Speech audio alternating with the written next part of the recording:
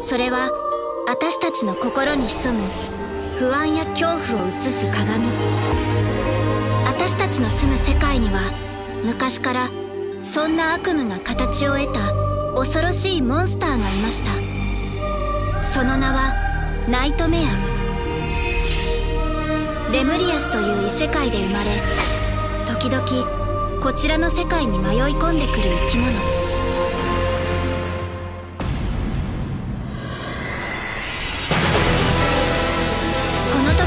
私はまだ知らなかったこの出会いが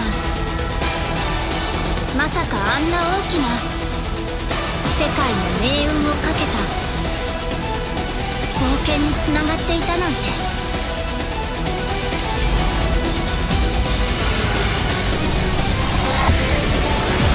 ゲートブ